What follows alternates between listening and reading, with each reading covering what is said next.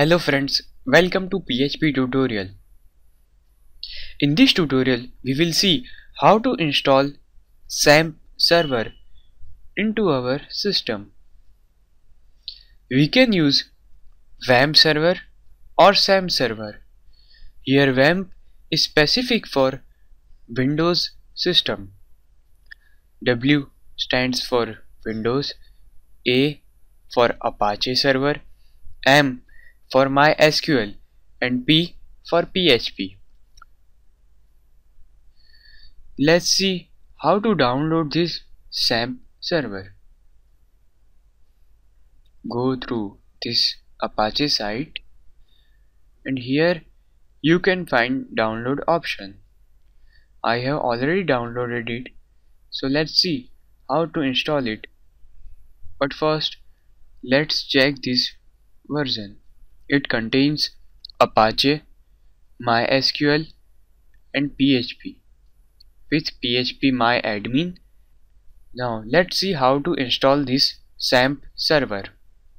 Here this is my XAMPP server. Let's double click on it.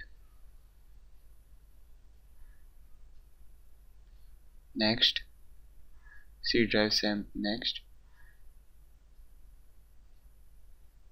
Okay and next. It will take some time to install it.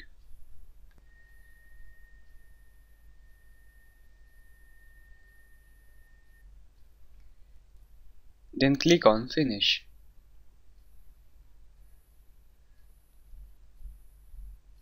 Start the XAMPP control pen now. Yes.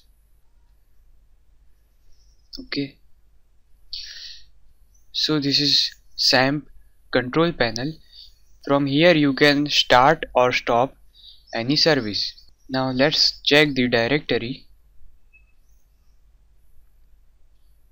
In your C drive this is the directory called XAMPP this is htdoc folder. In this folder we will put our websites we will create websites and save it into this htdoc folder. And from this folder we can open any website. But we can't directly open website like HTML website. Let's check one uh, website.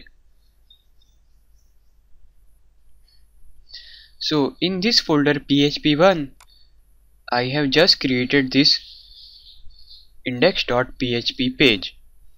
Now let's see how to run this PHP script on our server. First write localhost in URL so it will open your XAMPP page now just write your folder name here php1 so this is the output of my PHP script. So my XAMPP server is running perfectly. In our later tutorial we will discuss the basic syntax of PHP.